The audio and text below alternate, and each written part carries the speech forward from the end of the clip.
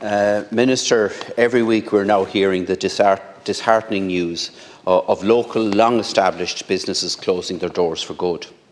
This loss is a blow not just to our economy, but to the fabric of our communities, both urban and rural areas. Our businesses are the lifeblood of local communities and the heart of these communities. The government, it seems, has yet to grasp the full extent of the crisis that presently engulfs the hospitality sector and, by extension, the wider small business community.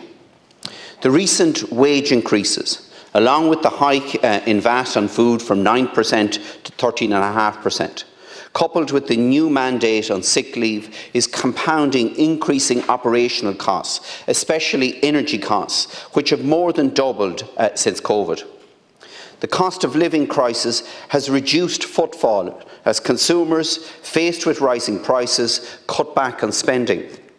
Staff shortages are becoming more acute, with fewer people viewing the hospitality sector as a viable career path. As a result, the very fabric of our communities, woven through our cafes, our restaurants and pubs, are under threat. The proposals that we are presenting here today are a set of measures aimed at providing immediate relief and a sustainable path forward for our local businesses.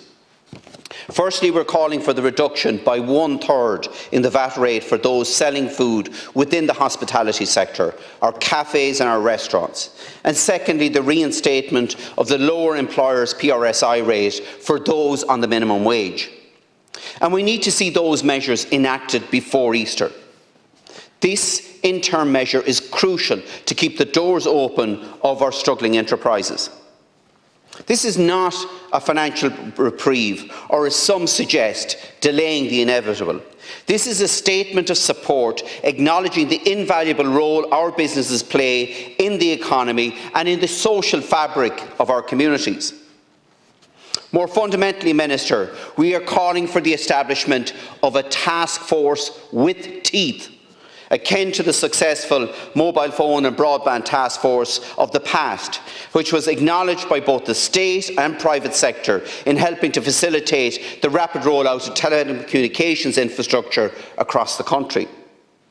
This new task force would not merely serve as a discussion forum, but act as a proactive body with the authority to tackle government red tape and the escalating costs imposed on small business.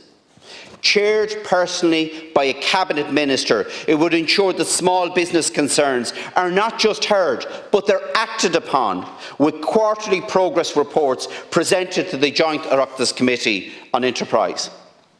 This task force would examine every government controlled cost impacting on small business, from licensing fees to regulatory charges, and work towards reducing these burdens. Its role would be to cut through the bureaucracy that often stifles innovation and growth, ensuring that small businesses have the support needed, not just to survive, but to thrive.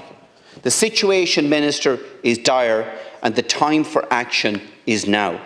The government's recent dismissal of the need to adjust the VAT rates, despite government TDs and ministers calling for such actions, none of whom came into the House today, only adds to the urgency of our motion.